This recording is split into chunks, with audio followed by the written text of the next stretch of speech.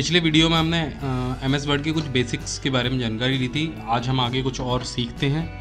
यहाँ पर हमने पहले फ़ॉन्ट वाले सेक्शन के बारे में जानकारी ले ली थी। यहाँ पर कौन कौन से टूल दिए गए हैं और वो कैसे कैसे काम करते हैं। आज हम जानेंगे कि पैराग्राफ सेक्शन के टूल कैसे काम करते हैं। तो जब आप एम एस वर्ड में टाइप करना शुरू करते हैं तो आप जो है कहीं पर भी कर्शर रख लेते हैं और सीधे सीधे टाइप करने लग जाते हैं।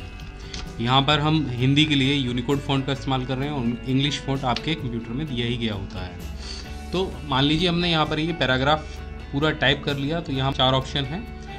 यहाँ पर सबसे पहला ऑप्शन है एलगिन टेक्स्ट लेफ़्ट उसके बाद सेंटर और यहाँ पर एलगिन टेक्स्ट राइट और इसके बाद दिया गया है जस्टिफाई तो ये जो लेफ़्ट वाला ऑप्शन है, ये जब आप टाइप करते हैं तो बाय डिफ़ॉल्ट आपको मिलता है, यानी कि ये जो टेक्स्ट हैं, वो सभी जो है लेफ़्ट साइड से चिपका के लगे हुए हैं, जबकि राइट साइड से पेज पर ये डिस्टर्ब है। और अगर हम इस को सेंटर कर देते हैं, यानी कंट्रोल के साथ ई का इस्तेमाल करते हैं तो आपका जो भी पूरा लिखा हुआ पैराग्राफ है, वो सेंटर के साथ में एडजस्ट हो जाएगा। आपके पेज के सेंटर से लिखा जाएगा। और अगर आप इसे राइट करते हैं तो ये राइट के साथ में एलिगन हो जाएगा, यानी कि राइट से सारे अक्षर आपके ठीक मिले हुए आएँगे और लेफ़्ट से ये डिस्टर्ब रहेंगे। लेकिन यहाँ पर एक और ऑप्शन बहुत बढ़िया है, जैसे आप पेपर्स में, अखबार में या किसी प्रोफेशनल टाइपिस्ट का लेटर लिखा हुआ देखेंगे, वो दोनों साइड से एक बराबर होता है तो वो इस्तेमाल करते हैं जस्टिफाई ऑप्शन का। जब आप इसे क्लिक करेंगे या कंट्रोल का जे जमाएँगे तो आपके जो पैराग्राफ है, वो दोनों साइड से एक बराबर हो जाएगा, राइट और लेफ़्ट से। आप देखेंगे हमने यहाँ पर जस्टिफाई का इस्तेमाल किया तो ये देखिए, ये वाली लाइन लेफ़्ट वाली और राइट वाली दोनों साइड से बराबर हो गई। तो ये चार ऑप्शन है, आप जैसे आपको सुविधा हो, आप उस हिसाब से इसका इस्तेमाल कर सकते हैं। इसके बाद दिया गया है यहाँ पर लाइन स्पेसिंग लाइन स्पेसिंग होती है आपकी लाइनों के बीच की दूरी। ये पहली लाइन है, ये दूसरी लाइन है, ये तीसरी, चौथी, पाँचवीं, छठवीं, और इनके बीच में जो गैपिंग है, वो है लाइन स्पेसिंग तो इसको देख लेते हैं कैसे काम करती है। इसके लिए हम बीच वाली लाइनों का इस्तेमाल करते हैं। दोनों को हमने सेलेक्ट कर लिया और यहाँ पर हम जाते हैं लाइन स्पेसिंग ऑप्शन पर।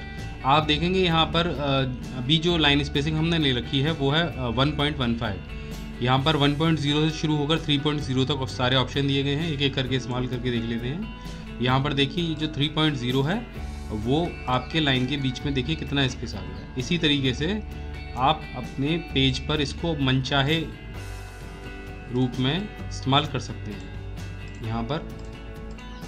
लाइन स्पेसिंग की ज़रूरत इसलिए पड़ती है कि आपका जो पेज है, मानिए आपने ए फोर का कोई पेज लिया है और आपके पास मटेरियल कम है तो आप लाइन स्पेसिंग के इस्तेमाल से अपने पेज पर उस पूरे मटेरियल को भर सकते हैं।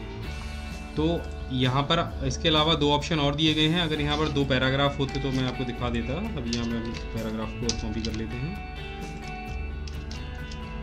यहाँ पर देखिए हमारे पास तीन पैराग्राफ हमने बना लिए हैं।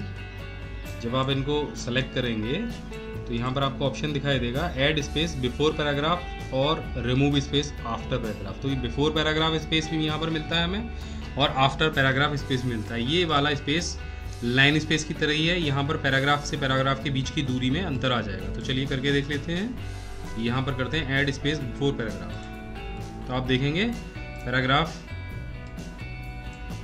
की जो पहले वाली लाइन है, वहाँ पर अंतर आ गया, इसको हटाएँगे तो ये अंतर ख़त्म हो जाएगा। ये देखिए।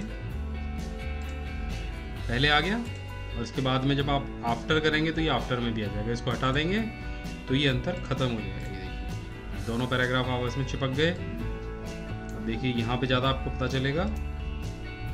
आफ्टर ऊपर कोई अंतर नहीं आया, लेकिन नीचे अंतर आ गया इस पैराग्राफ के बाद में। इसी तरीके से अगर हम बिफोर करेंगे तो ऊपर भी अंतर आ जाएगा। तो आप के ऊपर डिपेंड करता है कि आप इस ऑप्शन का इस्तेमाल अपने पेज पर कैसे करते हैं। इसके बाद आता है थीम कलर ये जो आपको दिखाई दे रहा है, ये थीम कलर्स हैं, ये आपके टेक्स्ट के बैकग्राउंड को चेंज कर देगा। ये आपके पैराग्राफ को पूरे को हाईलाइट करेगा। आप एक वर्ड को हाईलाइट करना चाहेंगे तो वहाँ पर भी वो ऑप्शन यहाँ पर आपको मिल जाएगा। तो ये एक तरीके से हाईलाइटर की तरह ही काम करता है। इसके बाद ऑप्शन आता है ये बॉर्डर का यहाँ पर आप अपने टेक्स्ट के चारों तरफ़ बॉर्डर लगा सकते हैं। ये देखिए।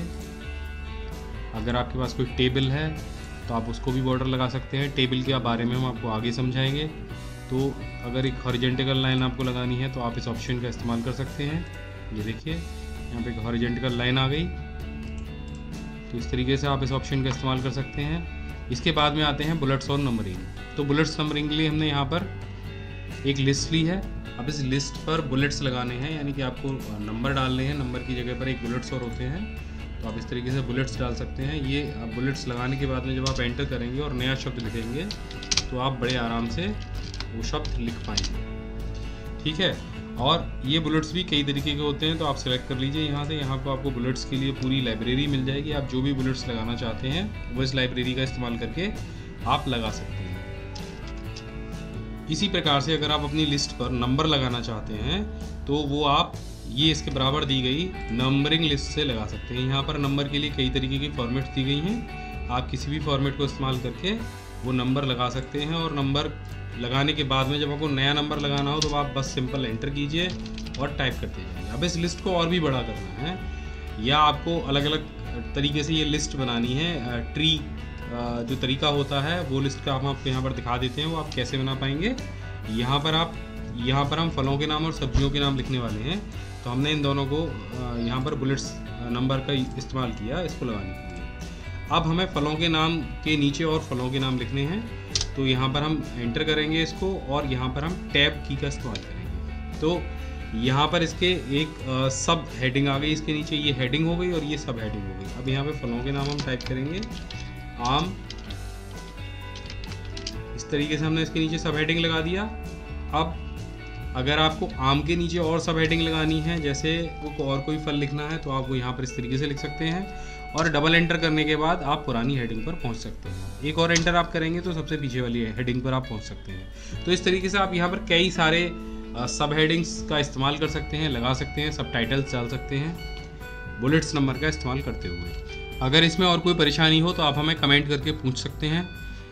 वो हम आपको यहाँ पर बता देंगे। इसके बाद यहाँ पर आपको दिखाई देता है एक ऑप्शन और, ये है शॉर्टिंग कराने का। जैसे आप एक्सेल में शॉर्ट कराते थे, उसी तरीके से आप यहाँ पर भी शॉर्ट करा सकते हैं। ये कुछ नंबर्स हैं हमारे पास, इनको हम शॉर्ट करा के देख सकते हैं। हम सेलेक्ट कर लेंगे और यहाँ पर जाएँगे शॉर्ट बाई पैराग्राफ यहाँ पर वो आपको बता देगा कि आपने नंबर लिए हैं टेक्स्ट लिया है, आपने नंबर लिए हैं असेंडिंग डिसेंडिंग का ऑप्शन आपको यहाँ पर दिखाई देगा। आप असेंडिंग को सिलेक्ट कीजिए और ओके कर दीजिए। तो आप देखेंगे ये सबसे छोटी वाली संख्या सबसे ऊपर आ गई और सबसे बड़ी वाली संख्या सबसे नीचे आ गई। इसी तरीके से आप इसे डिसेंडिंग करना चाहें तो यहाँ से बस डिसेंडिंग आपको इस्तेमाल करना है और ओके कर देना है। तो ये डिसेंडिंग इसके बाद एक ऑप्शन दिया गया है, ये आपके जो आपने टैब इस्तेमाल किया है या आपने पैराग्राफ मार्क्स जो भी आपके जितने भी पैराग्राफ मार्क्स हैं, उनको शो कर देगा। कभी कभी होता क्या है कि गलती से ये पैराग्राफ मार्क्स पर टिक लग जाती है तो यहाँ पर ये आपका जो टाइप किया डॉक्यूमेंट है, उसके बीच बीच में कुछ ऐसे निशान आ जाते हैं। तो इनसे घबराने की ज़रूरत नहीं है। इसमें सिंपल ये निशान किस किस चीज़ के मैं दिखा देता हूँ। अगर आप एंटर करेंगे तो यहाँ पर एक उल्टी पी बन जाएगी और अगर आप एक स्पेस लगाएँगे तो एक डॉट आ जाएगी। देखिए, ये डॉट स्पेस का मार्क है। और इसके बाद में अगर आप टैब इस्तेमाल करते हैं तो एक एरो आ जाएगा। तो ये कुछ पैराग्राफ के मार्क्स दिए गए हैं। इसका यूज़ टाइपिंग में कुछ भी नहीं है। ये एक टूल दिया गया है। आप जिसे पता कर सकते हैं कि आ, किस व्यक्ति ने क्या क्या इस्तेमाल किया है अपना लेटर टाइप करने में। जैसे आप यहाँ पर देखेंगे कि हमने यहाँ पर एक टैब लगाया है उसके बाद एक स्पेस दिया है उसके बाद एक एंटर किया है फिर एक टैब लिया है। तो इस तरीके से यहाँ पर आप पैराग्राफ मार्क्स से ये देख सकते हैं। अगर कभी आपके साथ ऐसा हो जाए कि आपको कुछ ऐसे निशान या मार्क्स आपको दिखाई दे हमने डॉक्यूमेंट में जो आपने नहीं टाइप किए हैं तो आप समझ जाइए, आपका ये पैराग्राफ मार्क वाला ऑप्शन ऑन हो गया है। तो बस इस तरीके से आप इसे हटा सकते हैं, या तो इस पर क्लिक कर दीजिए दोबारा। तो आशा है ये वीडियो आपको पसंद आया होगा।